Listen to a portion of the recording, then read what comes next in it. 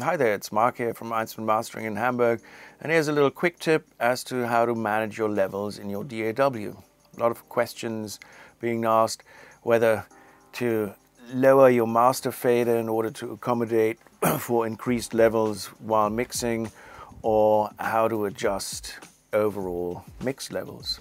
Well, I suggest leaving your master fader at unity at all times and ensure that your overall mix level reaching your master bus is at and around standard operating level, giving you ample headroom depending on your system.